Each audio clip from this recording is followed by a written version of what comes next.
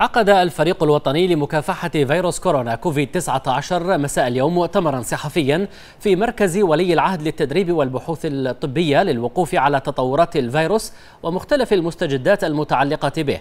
وقد أكد الدكتور وليد المانع وكيل وزارة الصحة أن الوزارة وبالتعاون مع وزارة الداخلية اتخذت عددا من الإجراءات الاحترازية تمثلت في إجراء فحص للعمالة الوافدة في مختلف مناطق المملكة.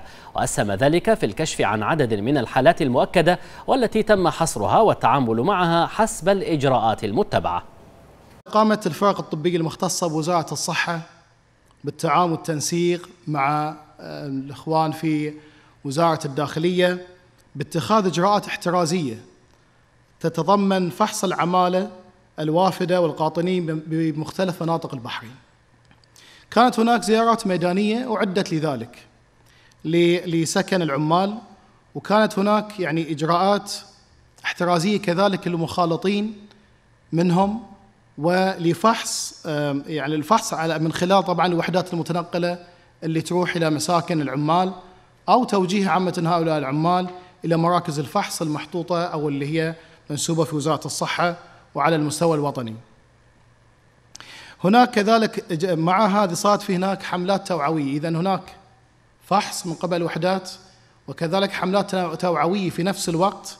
هذه الحملات كانت استباقية وأسهمت إسهام كبير جدا في الوصول إلى الحالات المؤكدة بفيروس كورونا لمواقعهم ومكنا كذلك من حصرهم والتعامل معهم وفق الإجراءات المعتمدة.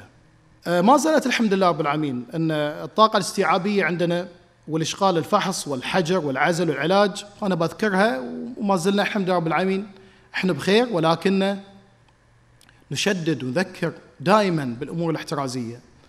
آه، إحنا بالأعداد اللي موجودة والجهود آه، جهودنا الحمد لله رب العالمين كبيرة ونحاول نطمن على إن إحنا نبذل قصارى جهدنا ولكن ما نتمناه من الجميع إن يكون هناك في حرص واحتراز أكبر وتشديد على آه، قضية اتباع التعليمات اللي إحنا يعني وردت من عندنا أو تخبر من قبل الجهات المعنية.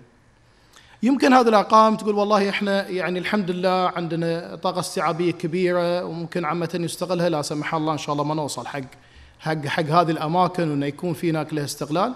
الحذر أعتقد والاحتراز هو من أهم الأمور اللي إحنا يعني نؤكد عليه في كل مرة.